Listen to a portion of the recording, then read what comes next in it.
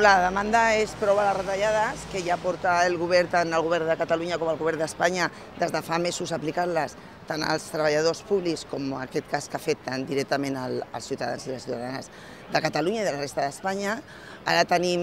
mm, ja l'agost terminat, jo crec que els treballadors han mantingut viva eh, bueno, d'una manera ha mobilització que vam dir de concentrar-nos tots els divendres a les delegacions del govern d'Espanya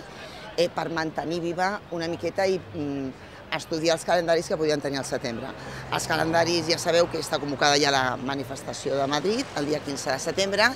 i el dia 4 tot el que són la cumbre sindical de la, de la funció pública, nosaltres tindrem una reunió per veure ja si fem més a partir del dia 15 o